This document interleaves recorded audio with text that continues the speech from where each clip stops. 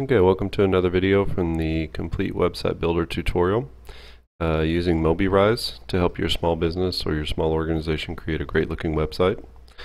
And I've had this question asked by a few people, how to make a link um, that when you click it, it'll open an email client and then the person can email uh, whatever email address that you want directly.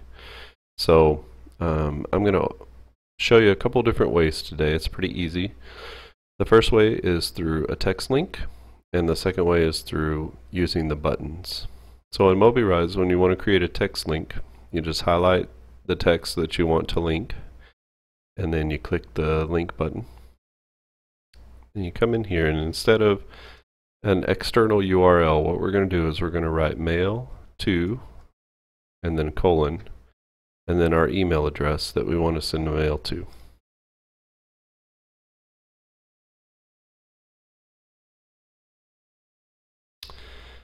And then you insert the link, and now that's there. And the same thing would go for when you want to create a link for a button. So you would, instead of writing the URL here, or instead of choosing a page or a part of the page, you would simply write mail to and then whatever whatever your uh, email address is you insert the link and now let's um, let's preview that in the browser and let's see how it works. So I have a Windows machine and on most Windows machines it's going to when this happens it's going to try to open the default email client which is going to be uh, Outlook for most people who have a Windows machine.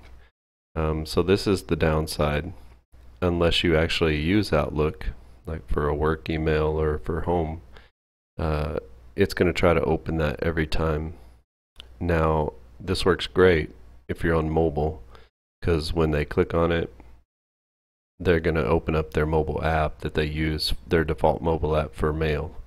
So on mobile, this is really great, but you just need to know that on uh, on a desktop side, if most of your users on the desktop, then it's going to try to open up Outlook for the most part. So I just clicked it, and you can see that it's trying to open up Outlook because that's my default mail client on here.